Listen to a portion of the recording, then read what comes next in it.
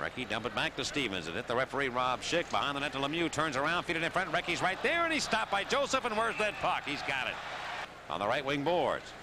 Recchi dump it back to Stevens. And hit the referee Rob Schick behind the net to Lemieux. Turns around feed it in front. Recchi's right there and he's stopped by Joseph and where's that puck? He's got it.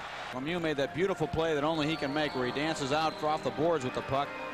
Recchi had to play it on the backhand across his body. Lemieux made that beautiful play that only he can make where he dances out off the boards with the puck. Recchi had to play it on the backhand across his body